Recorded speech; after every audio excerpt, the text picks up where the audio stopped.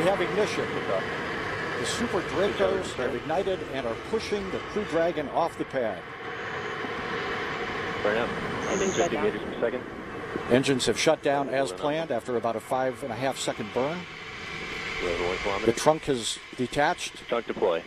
Dragon is tumbling as planned. The drogue chute has deployed as planned. Drogues look good. Drogues look good. Sequencing the mains. Passing through 600 meters.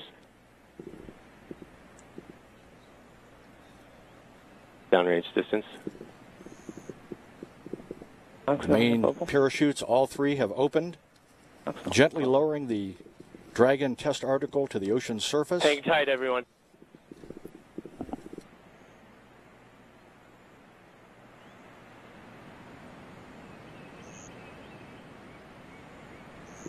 One minute into flight.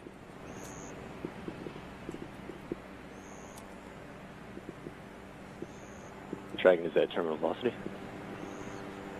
Dragon is at terminal velocity. Global.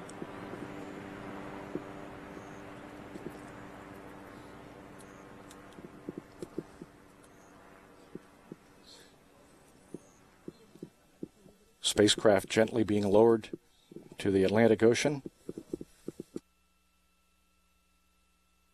Avionics Global. Avionics acknowledging Global.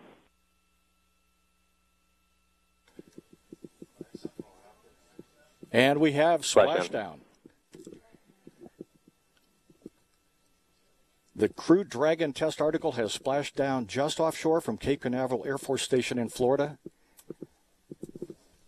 This view from Dragon. Dragon is in water landing. Avionics acknowledging Global.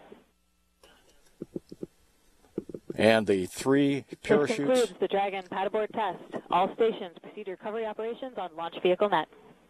Gently lowering into the water.